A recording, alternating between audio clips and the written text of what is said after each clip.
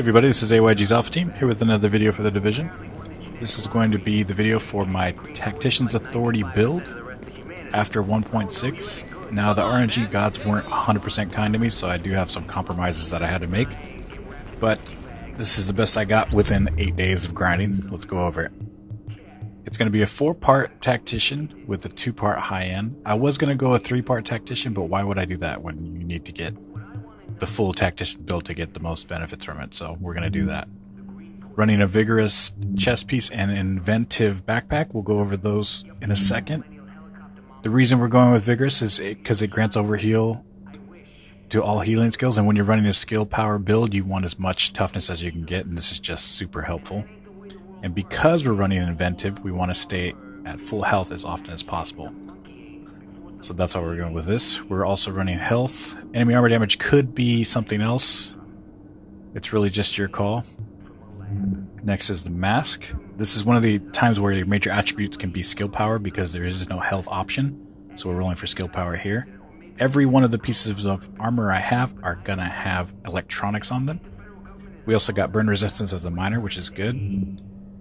Tac knee pads, also electronics. This is one of the instances where you could roll for health or skill power, but you should always roll for health. You want to get your toughness around 300 at least, to, so that way you can stay competitive during gunfights. Uh, backpack is inventive. Increase skill power of 15% when you're at full health. This is super beneficial for getting the most out of your skills. Another attribute time where you could roll for health or skill power, and we're rolling for health again, like I said. We're going to get a ton of skill power out of this build, so we don't really have to roll too much for. Mods, all the mods with the exception of this one firearms skill power, all of them are going to be electronic skill power. And all of my performance mods are Seeker Mine damage, and we'll go over that in a second too. Now the reason I need that firearms mod is for my talents and my weapons. This is the gloves. Major attributes are perfect. Critical hit chance, skill haste, and health on kill. We're going with critical hit chance because we will be using a submachine gun. And the holster, this is one of the compromises I had to make. The roll is just awful for firearm stamina and electronics, but it works for what we got. And since I've been trying for like eight days to get a better one, it just wasn't happening, so we're just gonna have to go with this. Another attribute for health. And like I said, we're running that vigorous with with the chest piece because of that overheal. We want to make sure we're staying alive as often as possible. Alright, weapons of choice are going to be Enhanced PP-19, LVOAC, and Navy MP5. And Competent and Talented are going to be the two major talents we're going to have. As you can see, you need 2874 firearms, and that's why I have that one firearms mod. So I can unlock those talents. And before I forget, Tacticians, two part is 15% skill haste, three parts 10 percent skill power, and then of course the every bullet in your group hit enemies with adds 0.2% skill power for a max of 30. That will come in handy when you're ever you're doing PvP with a group, or if you're doing the last stand, you're always going to be in a group. It comes in handy more often than not. With all the skill power boosts you get, you can get well over 500 skill power. Now, even though the game cap is 450, this way you always have an option to get the max out of your skill power build. And my enhanced PP19 is rolled for critical hit damage and critical hit chance, mostly damage though. And a little bit of rate of fire. LVOAC is going to be headshot damage, critical hit chance, and critical hit damage. A little bit of stability just so I can get a little better on the long distance shooting that I have to do. Overall, the the mods are really up to you, whatever you feel most comfortable with. Same with the weapons, your weapons of choice. You want to do as much DPS as you can, but also you want to have some lasting DPS too. That's why I'm rolling the enhanced PP19. Responsive on this LVOAC, always good. Alright, let's go over some attributes here. Critical chance is about 30% on my PP19. Reload time is good. It's going to scroll through these. You can check them out. Health on kill. Now, damage to elites will only really be effective in your PvE experiences, but it is still good. Skill haste, we get 23% mostly from our actual tactician build. Super helpful. Get those skills back as soon as possible. Less than 20 seconds for both of the talents we'll be using. We'll go over that in a sec, or skills rather. And 33% burn resistance. Also very good. Since we'll be coming across burn a lot, that's what we want to get the most resistance for. Now skills, I'm going with the first aid defibrillator and the Seeker Mine Airburst. Now I tried all of the Seeker Mines, including the base version, and this one does the most damage. Now the base version says it does 537 right here, but it doesn't. It just doesn't. Like every time I use it, it's just not as effective. So that's why we're going with Airburst. The clusters I wouldn't recommend just because you don't get as much damage per opponent out of them. So definitely go with the Airburst. And the defibrillator has the quickest cooldown and also has the most ally heal. So that's why we're going with that one.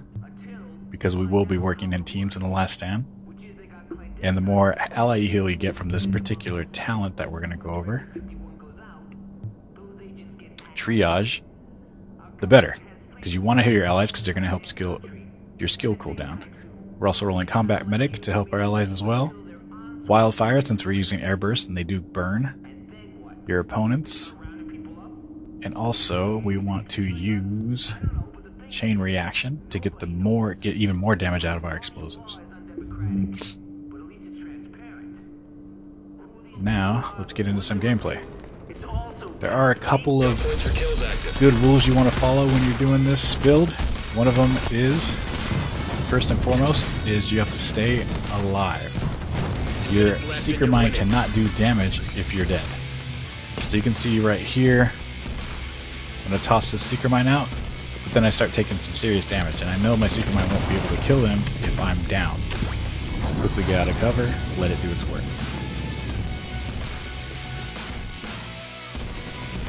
This next one, I try to shoot my heal at this at one of my teammates, and it just I just failed. So this guy is right behind here. I'm a terrible shot with this gun. If I make sure I dodge all the bullets, let my Seeker Mine do its work, down he goes. The Seeker Mine is devastating with the one-on-ones.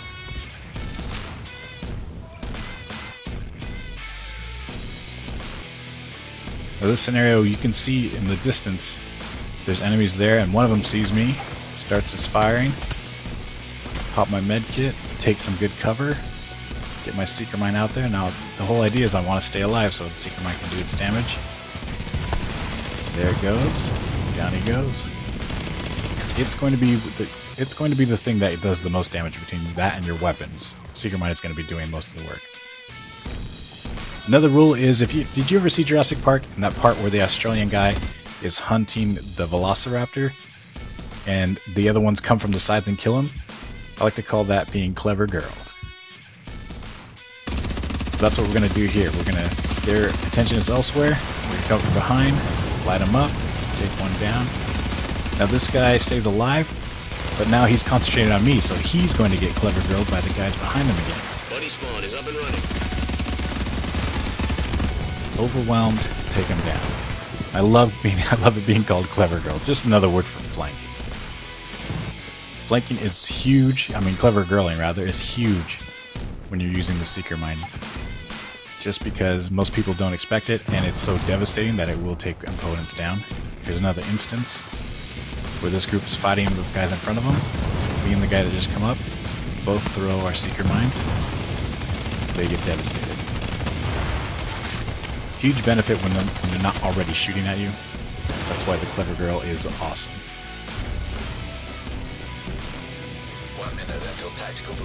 Here's another instance. Coming up on a group. Now another thing to point out here is I see the group ahead of time, and if I started shooting I would draw their attention. So I don't want to draw their attention, especially if there's other allies in the area. Let them focus on them. That way I can get my Seeker Mine out hit him when they're not paying attention. From the other agent you didn't even know was there. Alright, next rule is Seekers Seek. Now what I mean is, you can throw one out and let it cover you while you're doing other objectives, like capturing this point B3. I throw it out, I know there's guys over there. This way I know I'm getting covered while I'm doing my objective. You can see it right here, take down two of them. It does a great job of just getting your back when you're busy. Same instance here. B1 needs to be taken. There's tons of enemies. I know like most of my teammates in this scenario weren't really capturing the points, so I know I was just going to be up to me. Seeker mine out, start capturing, let it do the work. Down. Like I said, in this build too, you can run point or you can run backup. Both of them are super effective. Here's another instance. I put Seeker Mine down. You can see how the right below me there's a glowing green. That means my Seeker Mine's out. It's not finding anyone. That's just good news for me. Cap the point. Now my objective is to go close enough to enemies so my Seeker Mine will go after them. I know there's some down in the tunnel. I just get close enough, capture them, move out, let it do the work. Triple kill just from Seeker Mine. Now the rest of these shots are just going to be body flying. There's a bunch of them right there. You can see that Seeker Mine does some devastating damage and the bodies just fly sometimes and it's hilarious. I got a couple more here that you guys can check out.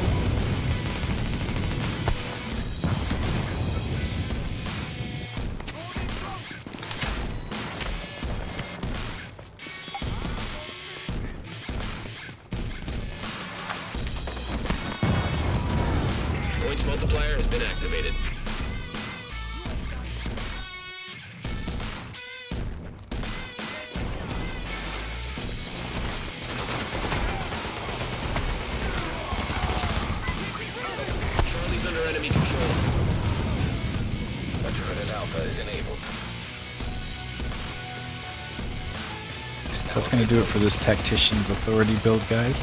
Go ahead and like and subscribe if you want to see more from Are You Gaming. Choose to comment if you have any questions too. Comments are always appreciated and feedback.